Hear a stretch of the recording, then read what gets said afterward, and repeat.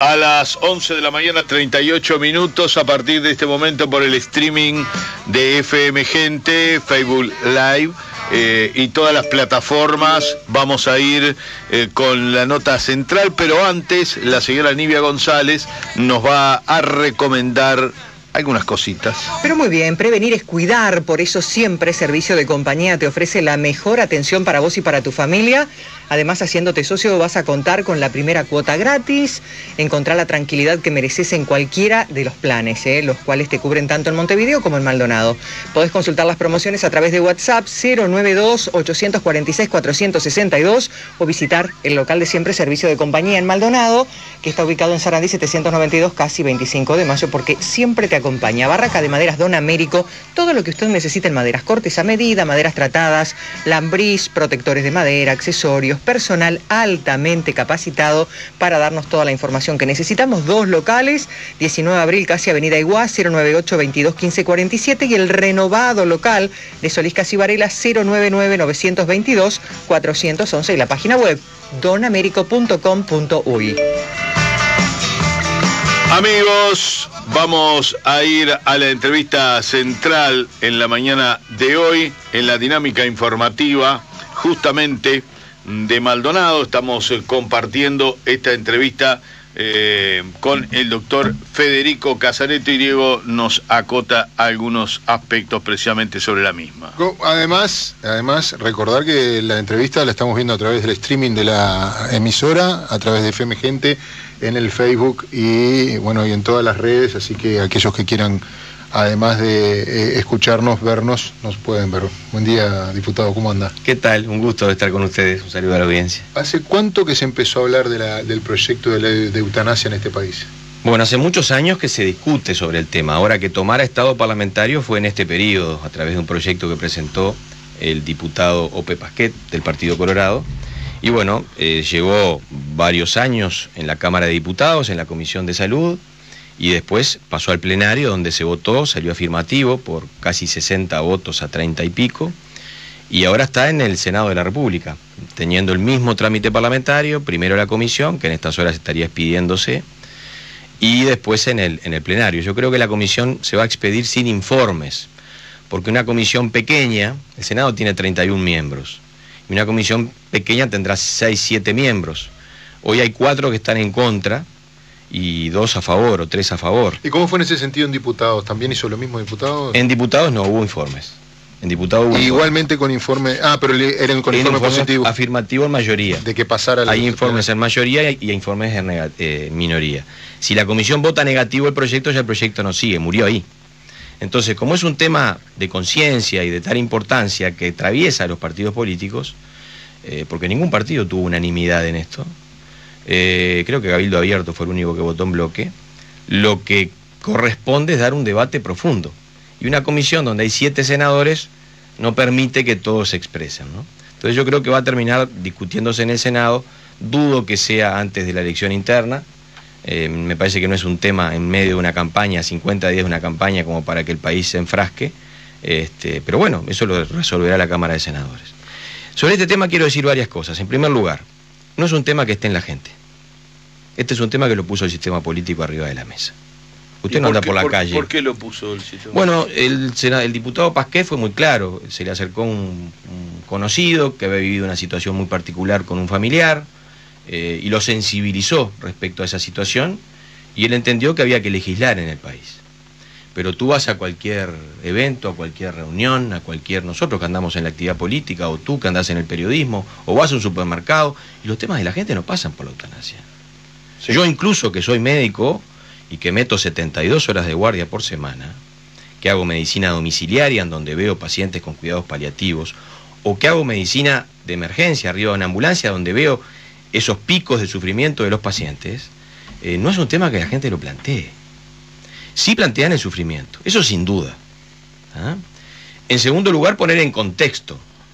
En casi 200 países que hay en el mundo, solo 7 tienen la eutanasia vigente. Porque una vez se empieza a escuchar esto como que viene la ola y que... Este, yo no estoy diciendo con esto que Uruguay no pueda tenerlo o, no corresponda a que Ah, se trate. pero- sí, estoy poniendo arriba de la mesa la realidad de la cual estamos hablando. Perdóneme, diputado, no, no, no lo sienta como un puñal. No, estoy para eso. Tenemos que aclarar que usted votó negativamente. Absolutamente. Porque hay que poner en contexto también, porque uno siempre, siempre empezamos a escuchar eh, todo el proceso de lo que usted nos va a contar, tenemos que avisar, porque el que avisa no traiciona, de que este diputado eh, fue parte de esos 36 votos, 37, no, la verdad que no lo tengo claro, que van en contra de la eutanasia. Cuando termine esta entrevista, todos los ciudadanos de Maldonado que escuchen FM Gente van a tener los argumentos que compartirán o no por los cuales este diputado votó en contra. Ahí está. Como diputado y como médico.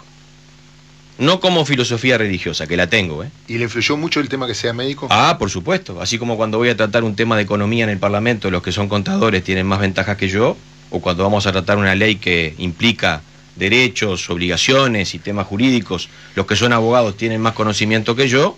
Por supuesto que cuando tratamos Y- estos temas, los médicos tenemos más conocimiento que el resto de los legisladores. ¿Hay otros médicos? Sí. Sí, claro. ¿Están todos en la misma línea? A ver, los cuatro médicos del Partido Nacional teníamos la misma opinión, el mismo posicionamiento. Y médicos de otros partidos también, de Frente Amplio no. La doctora Lustenberg y el doctor Galo estaban a favor de esto. Pero eh, Está quería- bueno lo que usted dijo recién, que no es un tema partidario. Poner que dentro en de los partidos hubo diferentes. yo te, más allá de lo que yo voto, voté o no voté, lo que estoy diciendo son dos realidades. Que alguien me diga aquí o llame por teléfono para decirme, el Uruguay está esperando que los políticos se expidan sobre la eutanasia. No es un tema que está hoy arriba de la mesa. El aborto era distinto. Era un tema que la gente lo tenía incorporado, había tomado partido, eh, llegaba muchas veces a las realidades familiares, este, porque era mucho más extendido eh, que este tema. Y la realidad de que los países, que te digo que son siete, lo tienen y otros no, también no tiene nada que ver lo que voté, sino que son constataciones. Entonces vamos al proyecto. ¿Por qué yo estoy en contra de este proyecto?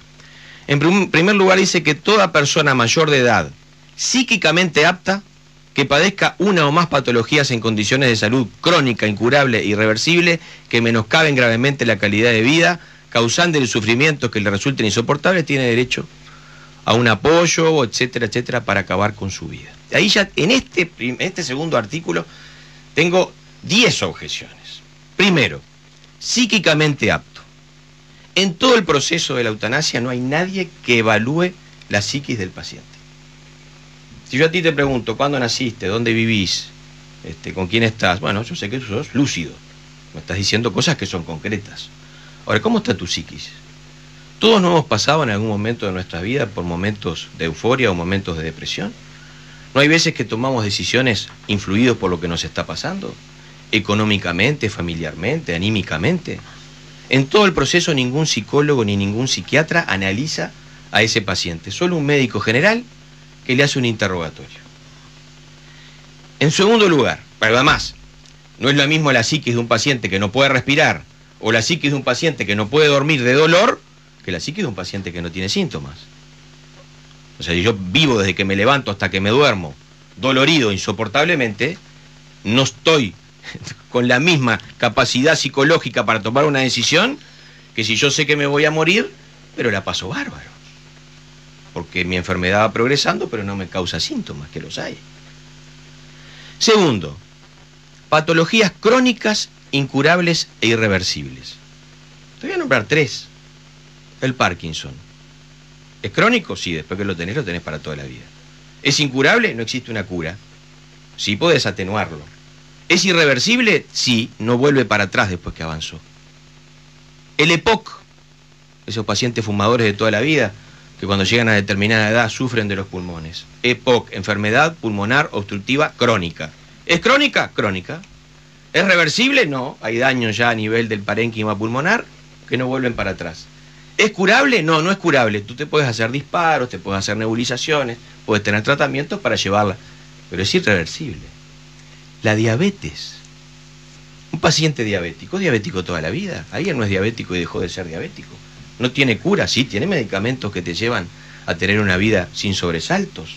Es irreversible. Ahora, entonces, todos los diabéticos, todos los que tienen Parkinson y todos los que tienen EPOC, si están psíquicamente ap- aptos y sienten que están sufriendo, tienen derecho a acceder a la eutanasia. Tercero, que menoscaben gravemente la calidad de vida. Yo tengo dos personas que nacieron el mismo día, mellizos. Uno vive al norte del Río Negro, otro vive al sur del Río Negro. Los que viven al sur del Río Negro casi todos tienen acceso a cuidados paliativos.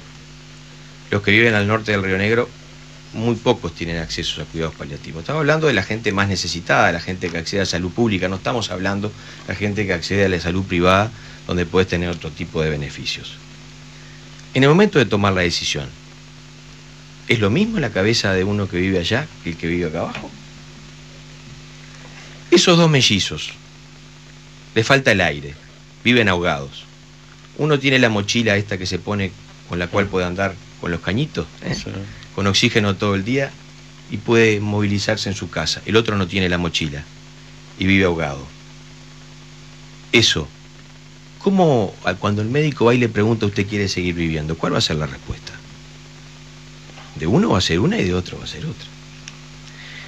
Entonces, cuando hay una consulta para llegar a la eutanasia, que en este caso son dos médicos los que tienen que entrevistarlo, se dice que el médico debe informar al paciente acerca de que existen los cuidados paliativos. Ah, no es lo mismo informarte a ti que estás ahogado o que me estás gritando de dolor a que tú tengas el cuidado paliativo. Y acá entramos en los especialistas, los que saben de esto, que no es Casareto, que no es cualquier médico, sino los paliativistas. En el Uruguay hay aproximadamente 30.000 pacientes terminales, o sea, pacientes a los cuales cuidados paliativos podría llegar a asistirlos. De esos 30.000 pacientes, 10.000 se plantean la eutanasia. O sea, un tercio, hay dos tercios que no se la plantean. De esos 10.000, cuando prueban los cuidados paliativos, el 95% desiste de su idea de eutanasia queda solo un 5% que sigue insistiendo porque puede pasar que haya tratamiento refractario, o sea, por más que le des todo lo que haya que darle, sigue doliéndole, o por más que le hagas todo lo que tengas que hacer, le sigue faltando el aire. Ahora, ¿esos pacientes se tienen que jorobar? Ahora, doctor, Para eso existe la sedación, que es cuando, todos lo hemos vivido, antes la gente tenía todo un tema mental o de leyenda, el famoso cóctel. Cóctel, claro. ¿Ah? Una cosa es el cóctel lítico, que en algunos países del mundo se utiliza, tú pones una vía en un brazo, pasás el suerito y matás a la persona, lítico, lo mata. Otro es el cóctel llamado aquí, que es la sedación, que es sacar de ambiente al paciente. Tú te despedís de tu familiar porque no se va a despertar más. Está generalmente ya en, el final de su enfermedad, donde ya nada da resultado, y ese paciente se duerme y a los pocos días, por la propia enfermedad, falleció. Esto es el proyecto que estamos tratando arriba de la mesa. Entre medio de esto hay una inmensa gama. Yo recién le decía a Nivia, nunca encontré un paciente, ojo, tengo 26 años de la profesión y haciendo lo que les contaba, andando en las casas de la gente. No soy médico de consultorio, generalmente estos pacientes no van a los consultorios, vos los vas a ver a la casa. Nunca encontré un paciente que me dijera, máteme. Nunca. Nunca. Sí, sáqueme el dolor. Sí, no puedo más. Sí, esto es insoportable. Sí, duérmame. Pero no máteme. Generalmente es el entorno. ¿Ah? Que obviamente la, sufre la gente, ahí va, la, lo familiar. yo te diría más, un hijo, un padre generalmente tampoco pide que se acabe con la vida. El que pide es el vecino, o el primo, o el tío, que viene una vez por semana y lo ve y lo ve cada vez peor. Entonces viene y habla con el médico y dice hay que terminar con esto. O sea, el problema muchas veces no lo tiene el que sufre, sino que lo tiene el entorno. Entonces, eh, voy ahora sí a, no al político, sino al médico. Yo me formé para salvar vidas, para curar, para acompañar, para escuchar. Está en el sentido de la, de la profesión. No me formé para matar. Todo lo que yo hago desde que me levanto hasta que me acuesto como médico es para que alguien se sienta mejor, no para este, terminar con la vida de alguien. Si alguien la tiene que terminar y el Uruguay decide que así tiene que ser, bueno, habrá un sector de médicos que se podrán dedicar a eso, habrá objeciones de conciencia. Y después entra todo el otro mundo, que no hay que olvidarse, que es el tema económico. Estos pacientes son los que le salen más caros a cualquier sistema de salud que va la policlínica, el, pediátrico, el, de la gente de la edad este, media que trabaja, ese sí tiene esos costos, pero el paciente que le sale más caro es el que está internado en el sanatorio o internado en el domicilio, que tiene que ir al médico todos los días, que tiene que ir al enfermero cada seis horas, que hay que pasarle medicación, que es muy muchas veces cara. Entonces, ojo también, así como yo vine y dije, yo acá no estoy hablando de mis concepciones religiosas que las tengo, yo de lo que he hablado aquí en ningún momento hablé nada del cristianismo, ni de los valores de la iglesia, ni de nada que ver como médico tengo que también advertir ah, estas cosas. Doctor, yo le hago una consulta. Eh, hace un rato dijo, no es un tema que esté en la gente. ¿No, será que no está en la gente porque la muerte es un tema tabú todavía para mucha gente y hasta que no te pasa de cerca nadie lo quiere tocar porque ojalá que a mí nunca me pase? y, que cuando te pasa de cerca es cuando te explota la bomba en la mano y ahí es cuando empezás a plantear un montón de circunstancias que capaz que deberían estar resueltas con esta ley. Sí, pero... Porque a nadie le gusta hablar de, la muerte, la verdad, yo, yo lo escucho y me parece sumamente interesante y es más, yo estoy convencido, eh, no coincido con usted de que no sea un tema de la gente, yo estoy convencido que del otro lado de la audiencia en este momento está con las alarmas a mil, porque nadie, nadie se plantea. Hay gente que no se plantea ni ir al médico, porque creo que el médico como el mecánico dice siempre encuentra algo. Pero a ver, este, vamos a sacar la sociedad que hablábamos recién, vamos a hablar la población al cual yo llego o llega un médico.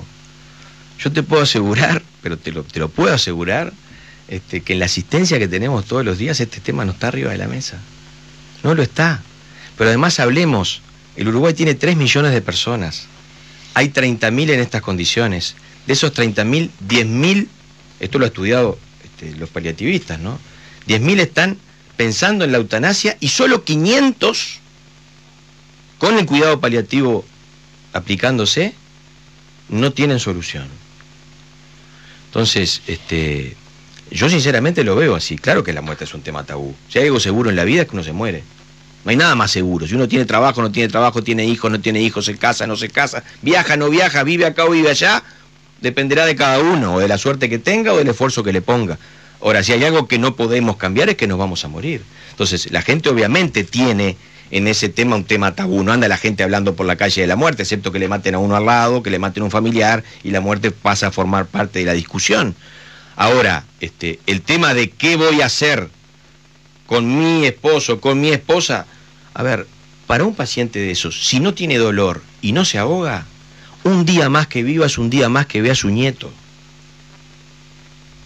Es un día que puede ver un nieto nuevo porque vivió tres meses más y en este mes nacía su nieto. Eh, es, es, obviamente un tema de mucha profundidad y de conciencia. Nive, ¿me querés preguntar hace algo? En esos casos emblemáticos que hemos visto de una persona que está cuadraplégica, que uno dice, pero cómo? Bueno, el primer proyecto y que está luchando con las leyes pidiendo que por favor le, le dejen terminar con En el primer proyecto original, y aquí te hablo sí por los cuatro médicos del Partido Nacional que, que somos diputados, estábamos de acuerdo en incluir tres o cuatro patologías, tres o cuatro patologías. Por ejemplo, te voy a poner una, el ELA, la esclerosis lateral amiotrófica, que es un deterioro neurológico a nivel de las neuronas que vas haciendo que te vas quedando este, cuadripléjico, pero después también perdés la conciencia. Bueno, esa enfermedad no tiene vuelta atrás, pero después de haber seguido los pasos de los cuidados paliativos. A ver, el hermano de Bullrich en Argentina. Si fuera por el diagnóstico de él, hubiese estado muerto hace cuántos, cuánto tiempo puede haber pedido ya la eutanasia cuando se enteró que tenía el diagnóstico, si la enfermedad es irreversible, incurable y crónica y va a seguir progresando. ¿Cuánto se perdió esa familia de tenerlo? ¿Y cuánto se perdía él de haber visto? ¿Y cuánto se perdía en la actividad que él hace de contar con él? Porque volvemos a lo del principio. ¿Cómo lo agarras anímicamente un día? Un día de repente no quiere vivir más y otro día te dice, no, hoy quiero vivir con todas las ganas. En, la, cuenta que hizo usted, doctor, ayúdeme que me, que me perdí, cuando llegó a los 500, ¿esos 500 serían?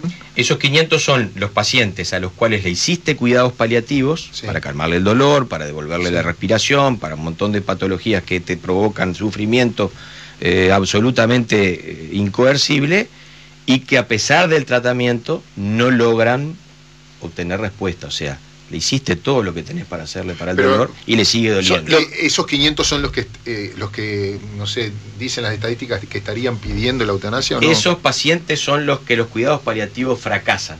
Dentro de los 10.000 que piden la eutanasia, que tú les aplicás el cuidado paliativo, te quedan 500 a los cuales a pesar de hacerle todo, siguen sufriendo y obviamente esos pacientes te piden no la eutanasia, pero sí los sacás de ambiente. Ahora, ahí los sedás, ahí los dormís. A eso voy con la pregunta.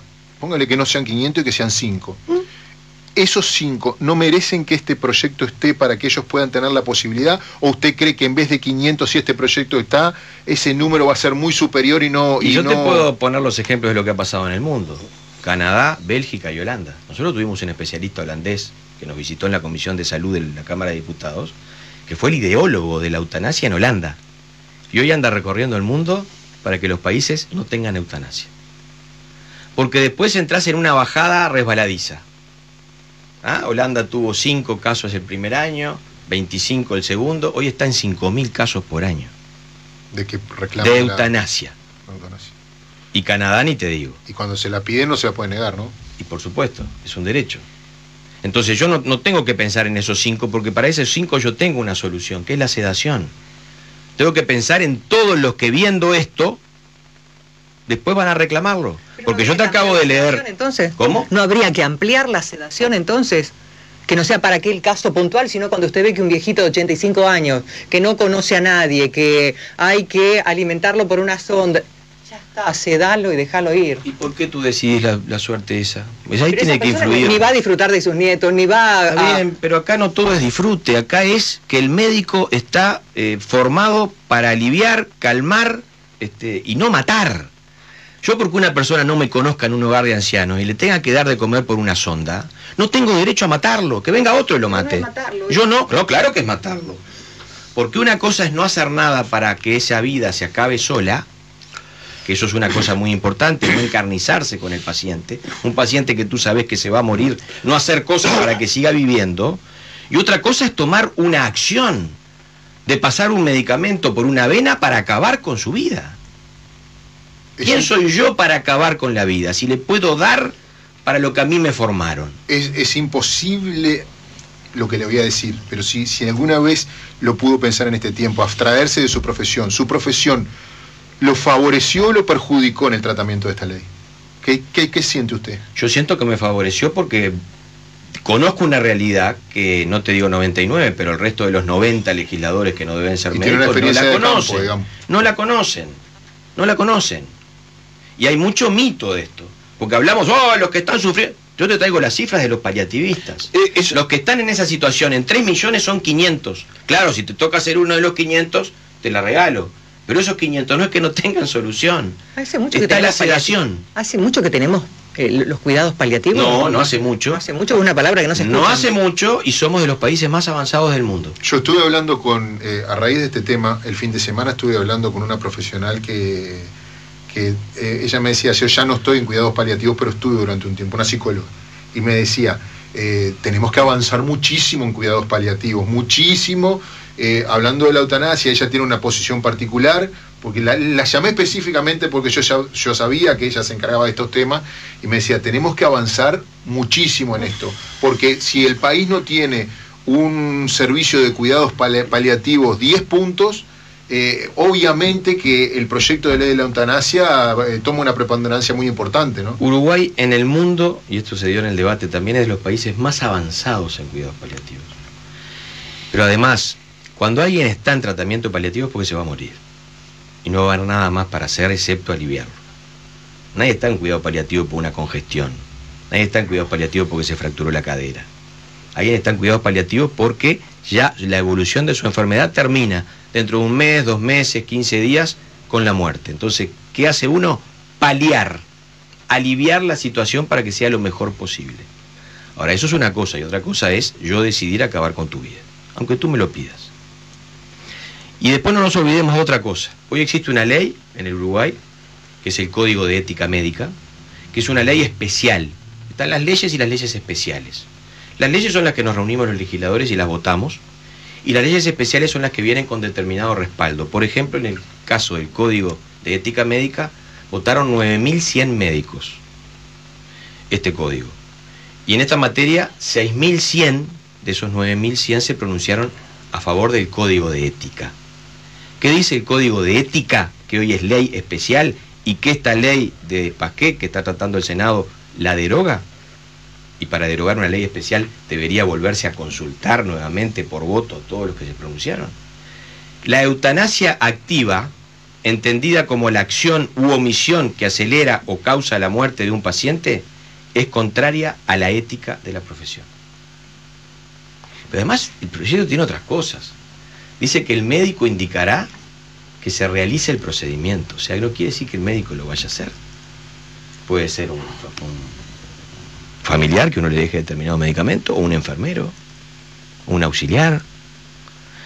Tiene otras cosas, que dice que el Ministerio de Salud Pública deberá ser informado después de este procedimiento y si encontrara alguna irregularidad, lo denunciará a Fiscalía.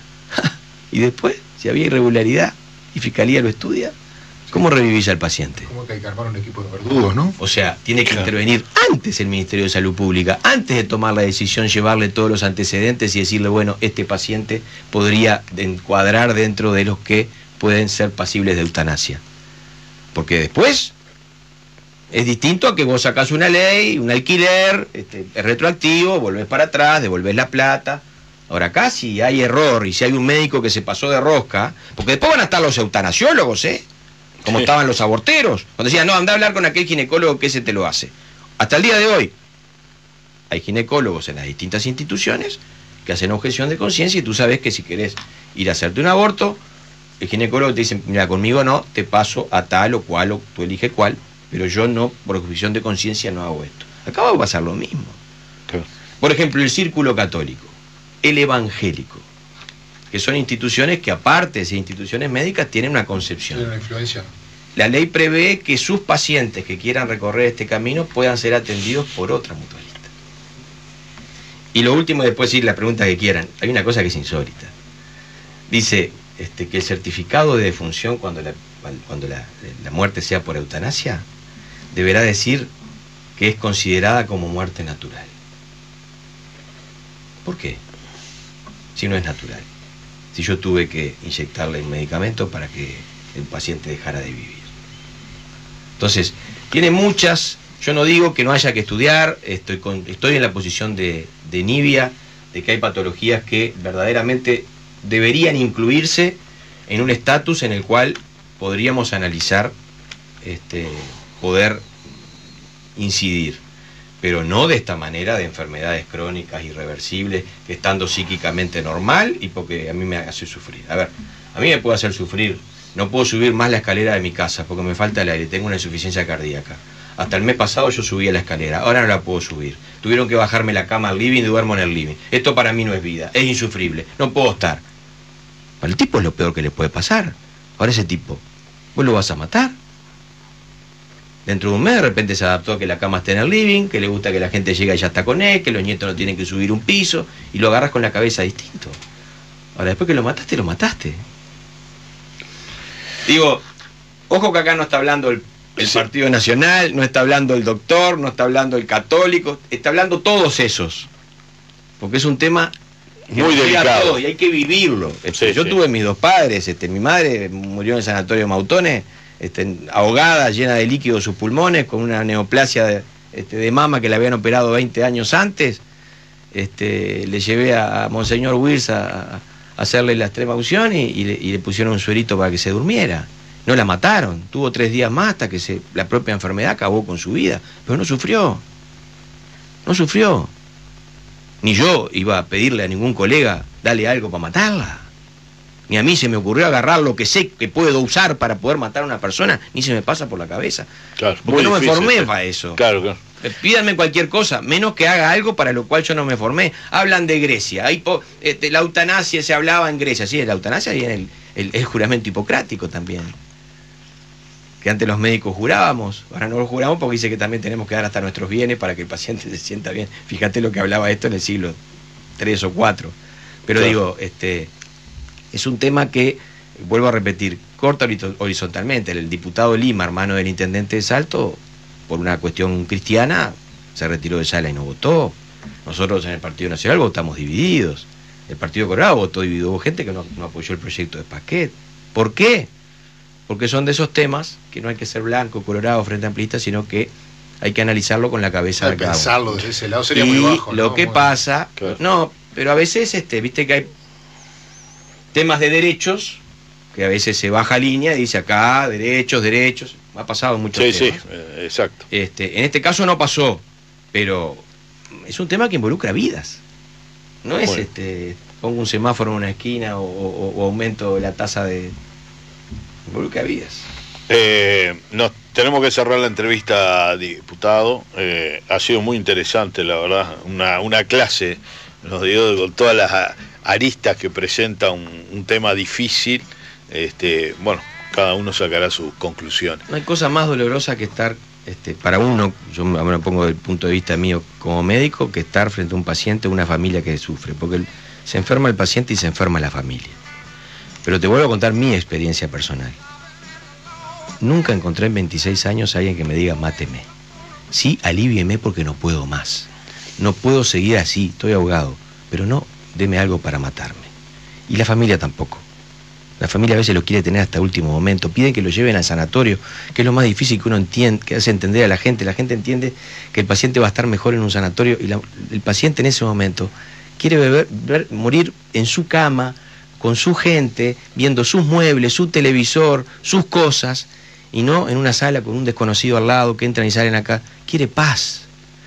Y esto a veces requiere que el médico se siente unos minutos y lo explique a la familia, no todo el mundo sabe de medicina ni tiene por qué entender, y la gente Claro. entiende que en Eso un es parte de los cuidados paliativos, porque uno piensa en los cuidados paliativos solo en el paciente. eh, los cuidados paliativos son también para la familia. sentarse, tomarse el tiempo y explicarle, y muchas veces decirle que el paciente se va a morir, porque la gente no sabe, O no se quiere dar cuenta. o no se quiere dar cuenta, o lo niega, hace una negación. Entonces, son minutos que de repente un médico pierde y tiene más cosas para hacer y más pacientes que ver que lo están esperando. Pero ese minuto de sentarse y explicarle a la gente que ya se entere lo que viene por delante, eh, calma absolutamente toda la situación, porque todo el entorno familiar está en otra este, sintonía con su paciente. Se está despidiendo eh, en calma y no en esa ansiedad de te duele, llamo, corro, vamos, que llama a la ambulancia, que te lleven, que te... O sea, ya sabe que la cosa va por ahí.